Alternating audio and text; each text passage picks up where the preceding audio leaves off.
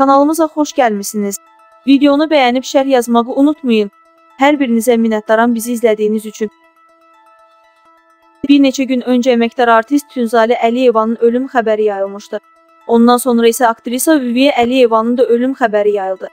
Bir az xəbər verir ki, Toppuş Bacım TV Azərbaycan kanalında qonaq olarkən bu xəbərlərə münasibət bildirib. Bizə qədər kifayət qədər insanları öldürüblər. Məni də öldürmüşdülər. Zəng edib dedilər ki, deyirlər ölmüsən. Dedim ölməmişəm, sağ-salamatam. Ülviyyənin də ölüm xəbəri çıxanda gördüm, elə özü də paylaşıb ki, belə ucuz reklama getməyin.